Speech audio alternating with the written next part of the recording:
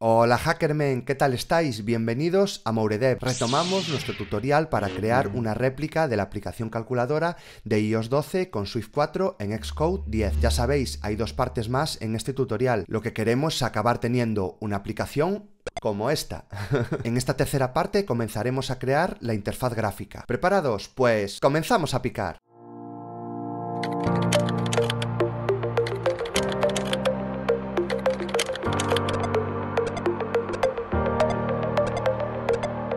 Esta es la tercera parte del tutorial. Si no habéis visto alguna de las dos partes anteriores, os recomiendo que volváis sobre ellas para que así os enteréis perfectamente de lo que vamos a ver en esta tercera parte. En la primera parte os dejo por aquí arriba el enlace, lo que veíamos es cómo crear nuestro proyecto en Xcode desde cero, para así dejarlo perfectamente preparado para todo lo que vamos a implementar. En cambio, en la segunda parte.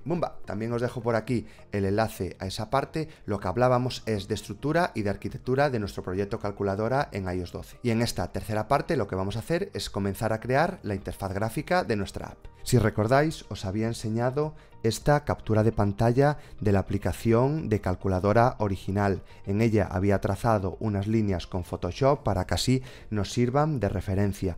Por empezar a comentar esta captura de pantalla, deciros que esta distancia que estamos viendo aquí, que es la distancia que se está repitiendo entre todos los componentes, es una distancia que nosotros vamos a asumir que es de 20 píxeles. En esta parte que podemos intuir que es el doble, pues serán 2 veces 20, serán 40 píxeles de distancia. Y este componente, esta label de alto donde nos van a aparecer las cifras que nosotros vamos introduciendo, aproximadamente son unos 56 píxeles. Conociendo estas distancias, nosotros podemos comenzar a construir la interfaz gráfica. También podemos obtener los colores de cada uno de los componentes, así como el tamaño de estos números y los símbolos. De todas formas, no olvidéis que este proyecto lo estoy subiendo a GitHub, tenéis en la descripción del vídeo cuál es el enlace al repositorio Git. Dicho esto, vamos a volver a nuestro Xcode. Vamos a ocultar esta barra inferior y vamos a ir a HomeView Controller.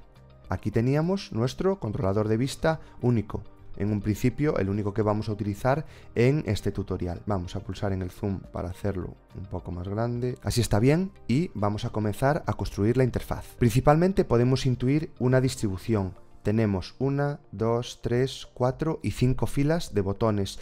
Todos esos botones tienen el mismo alto y todos esos botones tienen la misma distancia entre ellos y la misma distancia a los bordes. Derecho, izquierdo y inferior. Esta distribución la podemos llevar a nuestro proyecto de muchas formas. Aprovechando cómo están situados estos botones, os quiero enseñar cómo utilizar un componente que para mí es muy útil y me gusta mucho. Se llama Stack View. Si nosotros pinchamos en el botón Library que tenemos aquí arriba, aparecen todos los componentes visuales que tiene iOS por defecto. Si buscamos Stack View, aparecen dos tipos de stack. ¿Cómo se comporta el componente stack view? Un stack view lo que nos ayuda es a distribuir de una forma que nosotros vamos a definir diferentes vistas. Hay dos tipos de stack view, el stack view vertical y el stack view horizontal, para precisamente distribuir las vistas de forma verticalmente o de forma horizontalmente. Nosotros lo que vamos a hacer es utilizar los dos, uno para crear las diferentes filas y otro para crear las diferentes columnas dentro de cada fila. Primero vamos a seleccionar este Stack View vertical y lo vamos a arrastrar a nuestro controller. En el momento que nosotros soltamos el Stack View vertical, ya aparece aquí. Este Stack View vertical va a recoger todos estos botones que nosotros estamos viendo en la captura de pantalla.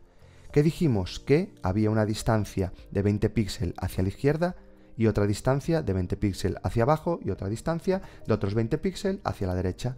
Pues vamos a seleccionar nuestro Stack View lo tenemos aquí seleccionado y vamos a aprender a utilizar constraints. Las constraints es una de las formas que nos da Apple para poder utilizar distancias y poder utilizar reubicación de componentes sin importar el tamaño de la pantalla donde nosotros lo estemos ubicando. Aquí tenemos un iPhone 8, pero si pinchamos podemos ver cualquiera de los dispositivos que actualmente da soporte Apple para que nuestra vista se vea de diferentes formas y así ir viendo cómo se comportan nuestros elementos. Lo ocultamos y volvemos al Stack View.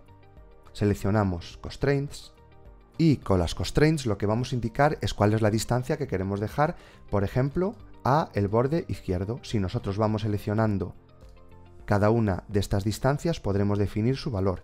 Dijimos que a la izquierda. Con esto indicaremos la distancia que hay entre nuestra vista y el componente más cercano a su izquierda, en este caso es el borde. Seleccionamos 20 píxeles, a la derecha 20 píxeles y abajo 20 píxeles. También nos tenemos que fijar que está activado para que así tenga efecto. Por ejemplo, aquí arriba pone 345, pero nosotros no vamos a activar esta constraint, con lo cual no tendrá efecto esta distancia. Le damos que queremos aplicarlas y aquí tenemos nuestras constraints. A la izquierda y a la derecha se han resuelto correctamente, pero a la parte inferior no. ¿Por qué? Porque en realidad nosotros no hemos definido una altura para esta parte. Ya tenemos el contenedor principal de todos estos botones. Ahora lo que quiero hacer es crear un stack view por cada una de las filas. Con lo cual vamos a necesitar 5 stack view. Volvemos a pinchar aquí y esta vez nosotros lo que queremos es un stack view horizontal vamos a arrastrar este stack view horizontal ya vemos en la jerarquía que tenemos un stack view vertical y un stack view horizontal. Vamos a hacer dos cosas. Si os fijáis, esto es un cuadrado perfecto. Con lo cual, esta vista lo que nos está diciendo es que todos estos botones son iguales y toda la distancia que guardan entre ellos son iguales tanto a la izquierda y a la derecha como inferiormente. ¿Cuántos botones tenemos por fila? Cuatro. Vamos a volver a Library y vamos a buscar button. Vamos a arrastrar este botón dentro de el Stack View horizontal ya vemos que las constraints se han resuelto correctamente porque el Stack View vertical ya reconoce que hay una altura que se la está marcando el botón, el Stack View horizontal también reconoce que hay una distancia que lo complete, es decir, este botón está utilizando todo el tamaño posible, todo ello respetando los 20 píxeles a derecha, izquierda y abajo. Aunque no importe de momento, vamos a darle un color a este botón. Pinchamos en el botón, nos vamos a Background, seleccionamos Custom y vamos a seleccionar un color gris que podía ser este. De todas formas, podremos retocarlos más adelante. Otra cosa que vamos a hacer es cambiar el texto de button. En vez de poner button, vamos a poner ya un número, un 0 por ejemplo, y el color de este 0 será negro. Como os decía, estos botones son un cuadrado perfecto, es decir, que su alto y su largo tienen que ser iguales. ¿Vale? Pues vamos a hacer que este botón tenga un largo y un alto igual. Para ello lo seleccionamos, vemos que está seleccionado nuestro botón, pinchamos de nuevo en Constraints y nos fijamos en esta opción que pone Aspect Ratio. Pinchamos en ella y la añadimos. Por si no se ve, aparece un 67,6 y un 667. ¿Qué quiere decir eso? Simplemente es la escala, es la relación que hay. Lo que nos quiere decir es que por cada 67 partes en las que nosotros podemos dividir este largo, se corresponde con 6 de alto. Y esta constraint aparecerá reflejada si nosotros desplegamos aquí el botón 0. Aquí vemos la constraint. La seleccionamos y vamos a hacer una cosa. Nosotros queremos que tenga el mismo largo que alto. Pues esa es una relación 1 a 1. Es decir, que tengan los dos el mismo tamaño. Vamos a escribir 1, 2 puntos, 1 y pulsamos Enter. Aquí tenemos un botonazo, pero eso sí, está cumpliendo la relación que nosotros queremos. Vamos a seleccionar el botón y a copiarlo tres veces más, porque nosotros por columna tenemos tres botones. 1, 2 y 3. Bueno, ya tiene mejor pinta. Estos botones ahora parecen más pequeños porque en realidad, como nosotros le decimos, que siempre tengan el mismo tamaño, cuantos más entren en una sola fila, más pequeños se van a ver. ¿Qué más estamos viendo en esta fila de botones que tienen una distancia. ¿Cuál es la distancia que dijimos que tenían? Pues la misma que tenían a los laterales, 20 píxeles. Si nosotros vamos al Stack View horizontal, al que representa esta fila, vemos que hay una propiedad que se llama spacing. Es el espacio que hay entre elementos. Vamos a cambiarlo por 20 y aquí tenemos ya cuatro botones que empiezan a parecerse a estos botones. Vamos a seleccionar el primer botón e ir aumentando el tamaño de su fuente. Vale, creo que pueden ser unos 35 píxeles. Y vamos a cambiarlo de estilo regular a estilo medium para que se vea un poco más. Vale, vamos a hacer lo mismo con estos cuatro botones. Dijimos que era 35 y medium. Vale, vamos a seguir aprovechándonos de las propiedades de los Stack View. Para mí, una de las principales capacidades de los Stack View es cómo se comportan ante la propiedad Hidden. La propiedad Hidden es la que nos permite ocultar un componente. Si nosotros pulsamos en un botón, no olvidéis que esta propiedad hidden que nosotros vemos en el botón, si nosotros tenemos un outlet al controlador de vista, simplemente con escribir punto hidden igual a true, es lo mismo que activar este check hidden. ¿Qué pasa si nosotros pulsamos en hidden? Se oculta, pasamos a tener de cuatro botones a tres y estos botones lo que van a hacer es recolocarse en función de las propiedades que nosotros le hemos marcado, que han sido que ocupen lo mismo, que tengan el mismo ancho que alto y que guarden una distancia de 20 píxeles entre ellos. Así es muy fácil recolocar nuestra vista. Vamos a quitar este hidden para que vuelvan a aparecer y vamos a continuar. Como os dije, nos vamos a seguir aprovechando de las propiedades de los Stack View. Vamos al Stack View horizontal, que era esta fila con cuatro botones, lo vamos a copiar con comando C y lo vamos a duplicar tres veces más para representar estas tres líneas. Esta última la dejaremos para el final, dado que es algo especial, puesto que este botón ocupa más que estos. Ya no se guarda la relación de que todos ocupen igual. La copiamos, la vamos a contraer y sin movernos vamos a duplicarla una, dos y tres veces. Aquí la tenemos, ya representando estas cuatro filas. ¿Qué vemos que falta? Que hay una distancia de 20 píxeles, igual que dijimos que había distancia hacia los laterales, vemos que también hay una distancia que es igual entre filas. ¿Cómo resolveremos esto? Pues de forma muy parecida. Nos vamos a ir al Stack View, esta vez al Stack View vertical, que designa todo este contenedor con cada una de las cuatro filas que nosotros hemos añadido y le vamos a decir que su espacio es 20. Bueno, ya se parece algo más, ¿verdad? ¿Qué nos falta? Una última fila que tiene un botón que ocupa dos espacios y otros dos botones que sí que se corresponden con el resto de botones de la calculadora. Para seguir aprendiendo sobre cómo funciona la Stack View, vamos a hacerlo un pelín complicado. Vamos a abrir Library de nuevo y a buscar los stack. Vamos a seleccionar un stack horizontal y vamos a añadirlo como una fila más. Dentro de este stack horizontal lo voy a copiar, lo voy a duplicar dos veces y voy a añadir estos stack view horizontales dentro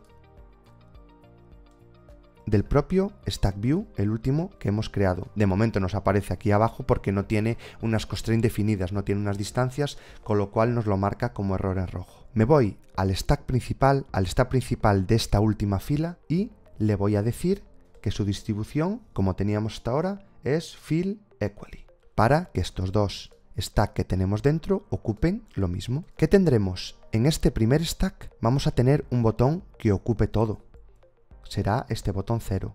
Y en el segundo stack vamos a tener este botón para los decimales y el igual. Nos podemos ir a cualquier botón que tengamos creado, lo copiamos y lo pegaremos en el stack view de la izquierda. ¿Vale? Aquí vamos a pegar uno, lo vamos a arrastrar dentro del stack view de la izquierda y aquí lo tenemos a la parte izquierda. ¿Qué vamos a hacer en el stack view de la derecha? Pues pegarlo dos veces.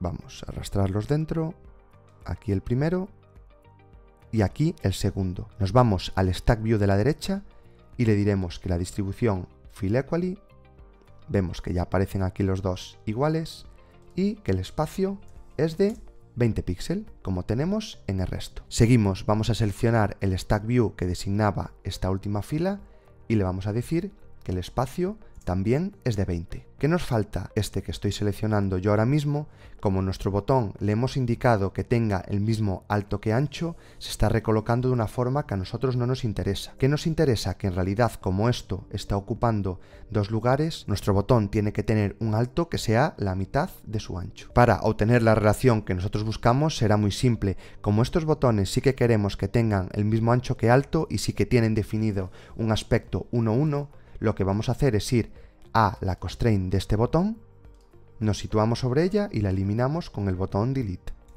Al eliminarla, este botón ha perdido sus constraints, pero como tenemos estos dos botones que sí que están marcando un alto, ya se está adaptando perfectamente. Ya tenemos cada uno de los botones de nuestra calculadora. ¿Qué será lo siguiente? Vamos a crear una etiqueta en la que aparecerán los números que nosotros vamos tecleando en la calculadora. Volvemos a nuestra vista, pinchamos en Library y escribimos label. Arrastramos una label, en primer lugar voy a cambiarle el color a blanco porque nos estaba viendo, vamos a poner 0 y ¿qué distancia dijimos que teníamos? A la derecha 20 píxeles y esta distancia que vamos a asumir que es el doble que la que estábamos dejando entre componentes, es decir 40. Con lo cual vamos a hacer una cosa, seleccionamos nuestra label, pinchamos en Constraints y le decimos que inferiormente una distancia de 40, a la derecha una de 20 y a la izquierda otra de 20. Comprobamos que están activas estas constraints y le damos a añadir. vemos que nuestra label, este 0, aparece alineado a la derecha, con lo cual vamos a seleccionarlo y decirle que la alineación sea a la derecha. Lo siguiente que vamos a hacer es darle un tamaño más grande para que más o menos ocupe como este. Vamos a ir aumentando el tamaño 90 o incluso 100. De todas formas, cuando estemos finalizando el tutorial intentaremos repasar todo esto para que quede lo mejor posible y lo más parecido a la original. Por último, en esta parte lo que vamos a hacer es darle el color a todos estos botones y introducir su símbolo. Todos estos botones centrales tienen este gris. Vamos a ir seleccionando uno por uno. Pincharemos en Background, en Custom y seleccionar RGB. Y vamos a escribir 51, 51 y 51 que es el color de este botón. El color del texto, en cambio, será blanco. Vamos a hacer lo mismo con el resto de los botones.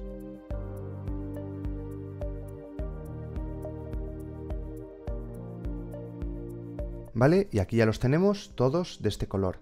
Vamos ahora a poner el color naranja. Seleccionamos el botón, el color del texto es blanco y el color de background.